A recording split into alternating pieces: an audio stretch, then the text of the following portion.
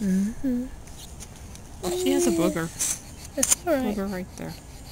Does it bother you? It doesn't No. bother me. It's See a if I can perfect, it. Uh, perfect little... Oh dear.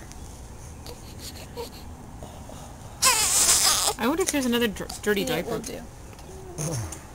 You know, Rolf has said that it's an asynchronous event, the diaper thing. Just because you changed it once doesn't mean that she won't fill it again in five minutes. uh-huh. Uh, is there blue line?